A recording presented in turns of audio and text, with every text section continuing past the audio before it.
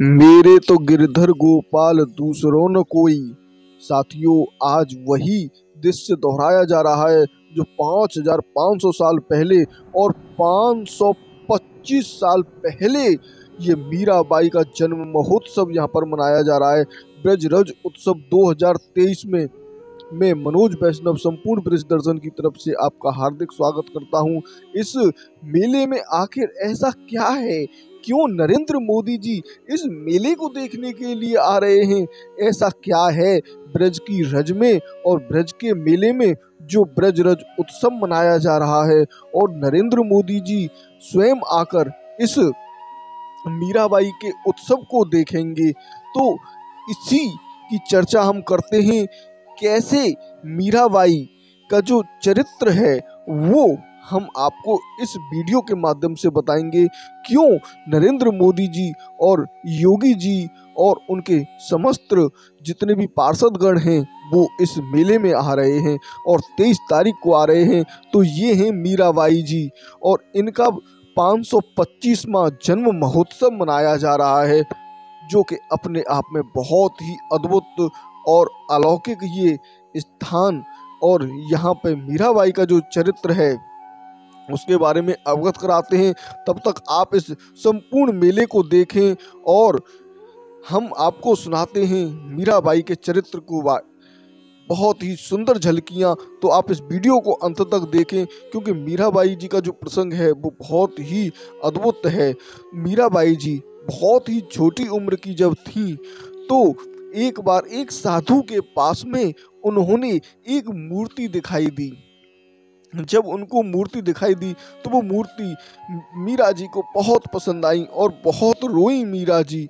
और जब मीरा जी बहुत रोई तो उस साधु ने वो मूर्ति मीरा जी को नहीं दी और वो साधु अपने यहाँ चला गया।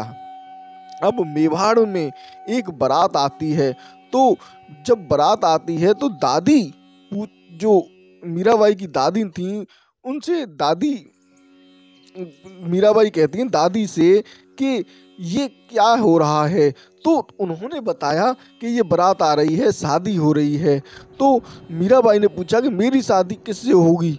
तो उन्होंने कहा, तुम्हारी शादी गिरधर गोपाल से होगी। और उनका जो ये कहना था, वो सत्य हुआ। और उन्होंने तो मज़ाक में ही कहा था, लेकिन जो मीरा थी वो समझ गई कि मेरे तो गिरधर जो गोपाल हैं, श्री कृष्ण जी हैं, उनसे मेरी शादी होगी। और वो चल दी और उस साधु को ढूँढने लगी, लेकिन वो साधु कहीं नहीं मिला। अब मीराबाई की जो हालत थी बहुत ज़्यादा ख़राब होने लगी। वो इंतज़ार करने लगी कि कब वो साधु आए और बहुत ही ज़्यादा विचलित होने लगी। तब उस साधु को सपना आया कि ये जो मूर्ति तुम्हारे पास में है, इसे तुम जिसकी ये अमानत है, उसको दे आओ। तब वो साधु जी मेवाड़ आए और मीरा जी के पैरों में पड़ गए और बोला कि सेवा हमने की और मेवा तुमने ली, ये अपनी अमानत संभारो। तब से उस मूर्ति को श्री कृष्ण जी की जो अद्भुत प्रतिमा थी, उसको मीरा जी ने गले लगा के अपने साथ में ही रखा और हमेशा अपने साथ में रख दी। तब उनकी उम्र हुई, शादी की उम्र हुई तो उन्होंने क्या किया कि गिरधर गोपाल, जो उनकी श्री कृष्ण जी की प्रतिमा थी, उसको अपने बाजू में छुपा लिया और जब उनके फेरे हुए सब कुछ हुआ तो उनके फेरों के साथ में ही श्री कृष्ण जी की जो शादी थी, वो स्वीकार कर ली मीराबाई ने कि श्री कृष्ण के साथ में मेरी शादी हो गई। तब यहाँ मेवाड़ में जो वहाँ के राणा और महाराज थे, उन्होंने शादी के बाद मेवाड़ में पहुँचे और मेवाड़ में पहुँचने के बाद जब सास, ससुर उनको जो बहुएँ आती हैं नई तो उनको देवी के मंदिर में लेके जाते हैं या जिनके बुज़ुर्ग होते हैं, पूर्वज होते हैं, उनके मंदिर में लेके जाते हैं। तो वहीं पर देवी का मंदिर था, वहाँ पर लेके गए। जब देवी के मंदिर में लेके गए तो सबने सास ने उनकी देवरानी ने, जेठानी ने सबने कहा कि सर को झुकाओ। देवी माँ आशीर्वाद देंगी, देवी माँ हमें संपत्ति देंगी, देवी माँ पुत्र देंगी देवी माँ हम पे कृपा करेंगी, इनके सामने सर झुकाओ। तब उन्होंने मीराबाई ने कहा कि मैं सर नहीं झुकाऊँगी, क्योंकि मेरे तो गिरधर गोपाल हैं दूसरों न कोई। मैं किसी दूसरे के सामने अपने सर को नहीं झुका सकती हूँ। तब तो एकदम से सास, ननद सबको एकदम करंट लगा। उनके पैरों के नीचे से ज़मीन फिसल गई कि ये बहू है कि क्या है? ये हमारी बात को अभी भी नहीं मान रही है तो आगे चल के ये क्या करेगी? फिर होता एक और चमत्कार है। एक दिन जो राणा जी थे, उन्होंने पूछा कि तुम जो ये कृष्ण हैं, क्या ये तुम्हें दर्शन देते हैं? क्या ये तुम्हें कुछ अपना चमत्कार दिखाते हैं? तो मीराबाई ने कह दिया कि आज से आप अगर दर्शन करना चाहते हैं तो आपको भी ये दर्शन देंगे, लेकिन मेरा और तुम्हारा कोई संबंध नहीं रहेगा, किसी भी तरीके का संबंध नहीं रहेगा, और आपको दर्शन में आपको करा दूँगी। तो श्री कृष्ण जी ने प्रकट होकर राणा जी को दर्शन किए।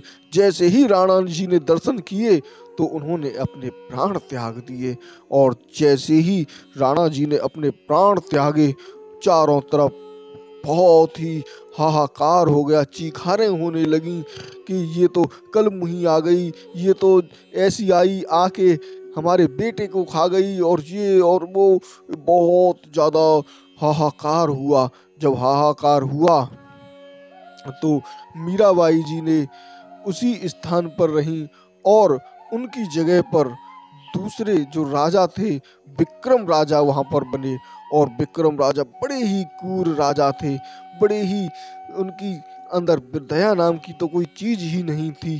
तो होता क्या है कि उनको मीराबाई जी को एक स्थान दे देते हैं वो कि यहाँ महलों में ये यहाँ पर मीराबाई नहीं रह सकती हैं। क्योंकि मीराबाई क्या करती थी कि कृष्ण जी के साथ में साधु और संतों को बुला लेती और वो साधु और संतों के साथ में कीर्तन करती। अब जो नित्य होता है, वो सबके सामने ही होता है। नित्य छुप के नहीं हो सकता, गाया छुप के जा सकता है, पढ़ा छुप के जा सकता है, लेकिन नित्य तो सबके सामने ही होता है और नित्य उजागर हो जाता है। तो राजा विक्रमा, विक्रम ने मीरा जी को घर से बाहर निकाल दिया और घर से बाहर भी कैसे निकाला कि वहाँ पर एक भूतिया मकान था। जैसे भूतिया महल होते हैं, वही भूतिया महल थे जिसमें अनेकों मेवाड़ के जो राजा थे, वो ख़त्म हो जाते तो उसी भूतिया महल में वो रहते। तो वहाँ पर भेज दिया मीराबाई को। जब मीराबाई को वहाँ भेजा तो बड़ा ही डरावना वो दृश्य था और मीरा जी प्रसन्न हो गई और अपने गिरधर गोपाल को लेकर वहीं पर पहुँच गई। और जब मीरा जी ने वहाँ पर छिड़काव किया और बाल गोपाल श्री कृष्ण जी की वहाँ पर सेवा की तो सभी पूर्वज मीरा जी को बड़ा ही आशीर्वाद दे के गए और तब उन्होंने वहाँ पर आशीर्वाद दिया तो जितने वो विक्रम राजा और ज़्यादा चिढ़ गया, क्योंकि अब उसके महलों तक आवाज़ आने लगी और नित्य गायन, साधु संतों के प्रवचनों की जो आवाज़ थी, वो उसके महलों तक पहुँचने लगी। अब उसने क्या किया कि मीराबाई के लिए एक हलाहल विष भेज दिया और वो इतना हलाहाल विष था कि जैसे ही अगर कोई उसे सूंघ भी ले तो तुरंत ही खत्म हो जाए। तो पंडितों के माध्यम से उसने बताया कि ये चरणामृत है और चरणामृत उन्होंने मीरा जी ने ले लिया। चांदी के पात्र में था। अब मीरा जी को तो पहले ही पता चल गई कि ये विष है, लेकिन उन्होंने कहा कि मेरे भगवान श्री कृष्ण जी आज आए हैं इस रूप में। तो इसी रूप में सही मैं इनको स्वीकार कर लेती हूँ। तो जैसे ही मीरा जी ने वो विष पिया गट गट करके तो द्वारका की मूर्ति जो प्रतिमा थी, उसमें से झाग निकल गई। श्री कृष्ण की प्रतिमा द्वारकाधीश के मुँह में से झाग निकल गए और जो प्रतिमा मीरा जी के पास थी, वो पूरी की पूरी काली पड़ गई और मीरा जी तो बच गई। लेकिन श्री कृष्ण जी की जो मूर्ति थी, वो काली पड़ गई। ये दृश्य देखकर चारों तरफ़ सनसनी फैल गई और ऐसी सनसनी फैली जिसका कुछ कहा नहीं जा सकता। अब तो अकबर राजा इस समय पर था और वो भी भेष बदल के मीरा जी से मिलने के लिए आया तानसेन के साथ में। और तानसेन और मीराबाई की जो मुलाकात थी, वो पहले भी हो चुकी थी। तब उस राजा ने जो ये मुगल का बादशाह था, उसने एक हार दिया तो मना कर दिया। तब गुप्तचरों ने बताया कि यहाँ पर मुगलों का राजा आया है और मुगल के राजा से ये जो हार दे के गया है तो राजा विक्रम ने बड़ा ही कड़ा पहरा लगवा दिया चारों तरफ़ से।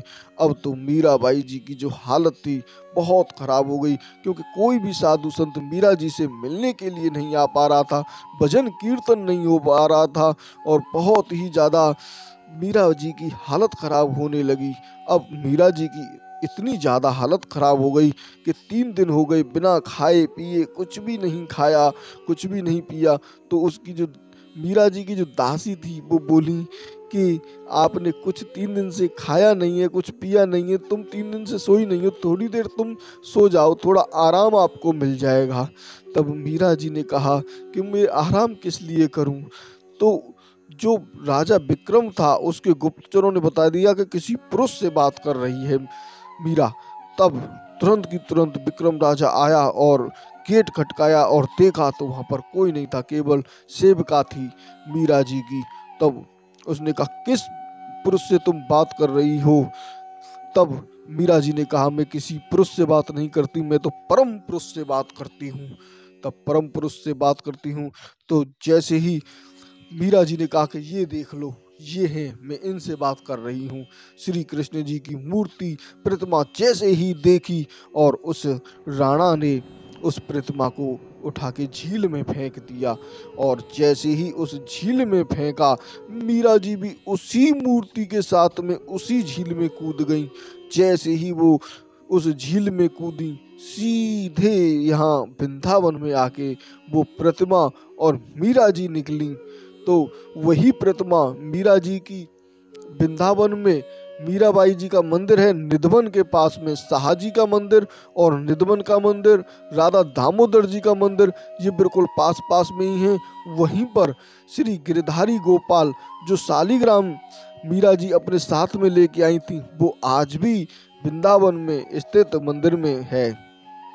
तो हेमा मालिनी जी, यहाँ पर उसी मीराबाई का जो रोल अदा करेंगी और इसी स्थान पर तेईस तारीख को यहाँ मोदी जी आकर उसी मीराबाई की जो कृत्य करेंगी, हेमा मालिनी जी मीराबाई का रूप यहाँ पर बनाएँगी और अद्भुत नृत्य करेंगी। मीरा जी का बहुत ही अलौकिक दृश्य होगा। उसे देखने के लिए देश और विदेश से भी लोग आ रहे हैं। नरेंद्र मोदी जी भी आ रहे हैं, योगी जी भी आ रहे हैं और जितने भी पार्षद हैं, वो सभी लोग इस ब्रज के रज में आके मीराबाई जी की जन्म स्थली, उनकी जो है जन्म महोत्सव, उसका अद्भुत आनंद इस ब्रज क्षेत्र में लेंगे। तो साथियों, आप यहाँ पर देख सकते हैं, हमने मीराबाई जी का जो चरित्र था, वो आपको समझ, बताया और संपूर्ण जानकारी दी। अब जो राजा विक्रम था, उसने यहाँ पर भी नहीं पीछा छोड़ा, यहाँ पर भी अपने गुप्तचरों को भेजता। तो मीरा जी बड़ी ही परेशान हो गई। तो एक बार मीरा जी यहाँ से द्वारका के लिए चली गई। जैसे ही द्वारका के लिए गई तो चारों तरफ़ से इस राजस्थान में मेवाड़ में अकाल पड़ गया। तो वहाँ के जो साधु संत थे, वो पहुँचे द्वारका में और मीरा जी से कहा कि, मीरा जी, आप हमारे साथ में चलो, वहाँ पे तो अकाल पड़ गया है और कुछ भी नहीं हो सकता है। तब मीरा जी ने श्री कृष्ण जी के सामने अपनी बाहें फैला के कह दिया कि, मेरा दुनिया से क्या नाता है? मैं दुनिया के लिए नहीं हूँ, मैं तो अपने श्री कृष्ण के लिए आई थी।